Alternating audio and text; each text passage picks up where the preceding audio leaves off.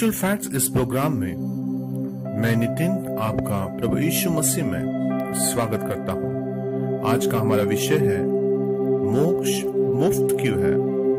जी हाँ दोस्तों, मोक्ष मुफ़्त क्यों है? हर व्यक्ति मोक्ष की तलाश कर रहा है। हर धर्म मोक्ष की आवश्यकता बताता है। यह संसार मनुष्य की आखिरी मंजिल नहीं है। आत्मा उसके शरीर से निकलकर आगे चली जाएगी और शरीर मिट्टी में मिल जाएगा। यह तो हम सभी जानते हैं। मुक्ति, मोक्ष, उद्धार या स्वर्ग प्राप्त करना तो हर व्यक्ति चाहता है। वो यह नहीं चाहता कि उसकी आत्मा अनंत नरक की पीड़ाओं को सहे। इसलिए आने वाले कल से भयभीत होकर हर व्यक्ति मोक्ष की कीमत देने की कोशिश कर रहा है। धनवान अपने धन से, गरीब अपने श्रम और कर्म से, और बुद्धिजीवी लोग अपने ज्ञान और समझ से मोक्ष प्राप्त करने की कोशिश करते हैं। दोस्तों, क्या हम उस परमेश्वर को, जिसने मनुष्य की और इस सृष्टि की रचना की है, उसी की सृष्टि में से निकालकर मोक्ष की कीमत, दान दक्षिणा के रूप में दे सकते हैं? क्योंकि यह सब कुछ तो परम परमेश्वर का है।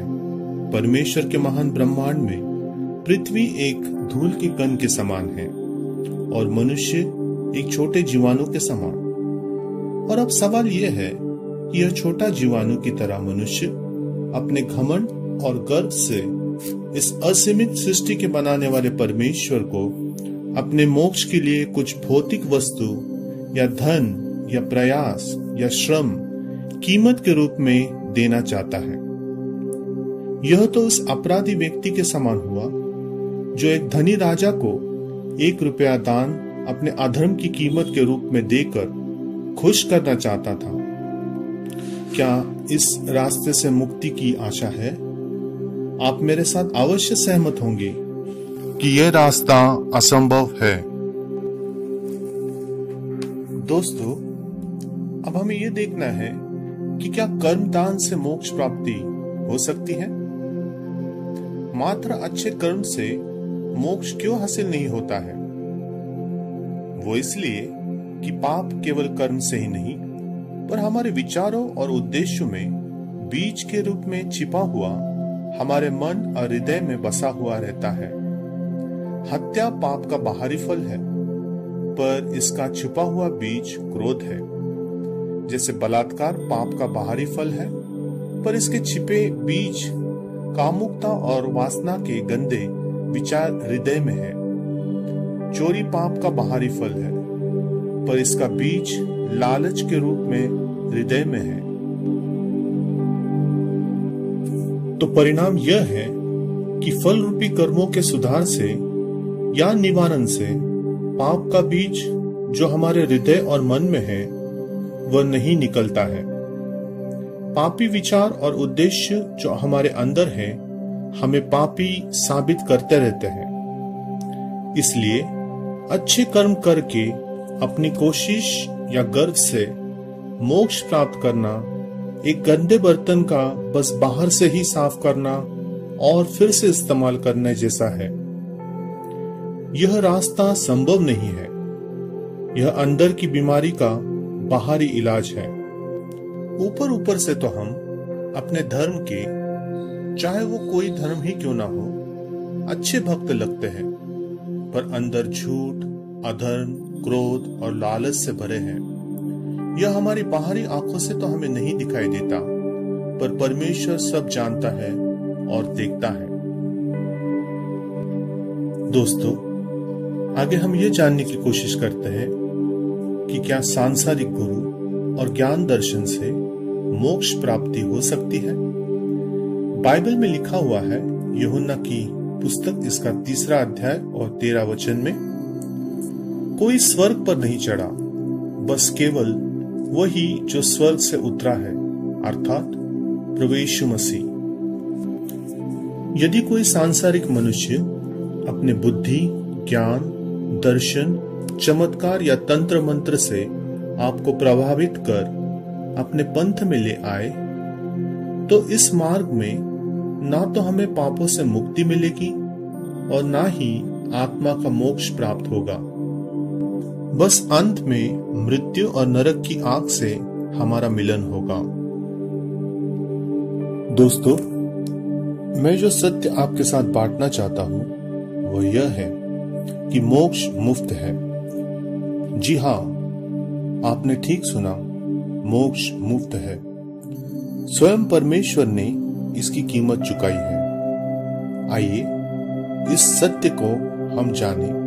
बाइबल में लिखा है, यहोन्ना की पुस्तक, इसका तीसरा अध्याय और सोलह वचन में, परमेश्वर ने जगत से ऐसा प्रेम किया कि उसने अपना एक लोता पुत्र यीशु मसीह दे दिया, कि जो कोई उस पर विश्वास करे वह नाश न हो, परंतु अनंत जीवन पाए।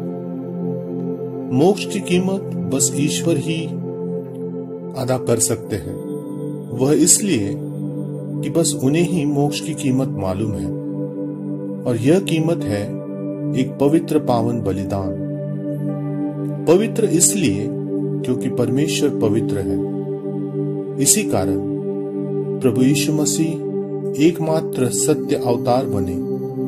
शरीर धारण कर और क्रूस की मृत्यु द्वारा पवित्र खून बहाए, सर्वसिद्ध बलिदान हुए।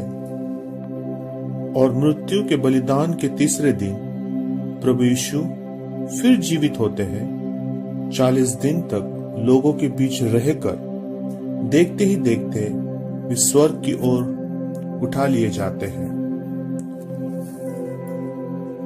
इस तरह प्रभु यीशु मार्ग, सत्य और जीवन बन, हमारे मोक्षदाता बनते हैं और ईश्वर के प्रेम द्वारा मनुष्य की मोक्ष की कीमत अदा करते हैं। दोस्तों, यदि आप यीशु मसीह को मोक्ष प्राप्ति हेतु ग्रहण करते हैं तो मेरे साथ इस प्रार्थना को अवश्य दोहराए। आइए हम मोक्ष हेतु परमेश्वर से प्रार्थना करें। प्रभु मैं पापी मनुष्य हूँ। मैं विश्वास करता हूँ कि आपने मेरे पापों की और मोक्ष की कीमत अपने पवित्र खून से अदा की है। मेरे पापों को क्षमा करें। अपनी आत्मा के द्वारा नया जीवन दे और मुझे मोक्ष प्रदान करे। आमीन। परम पिता ने जगत से इतना प्यार किया। अपना इकलौता बेटा ईशु दिया। जो कोई विश्वास करे उस पर, नाश न हो पर जीवन पाए अनंत। सुनो सुनो, यह सत्य वचन। ईश्वर का वचन सुनो सुनो यह सत्य वचन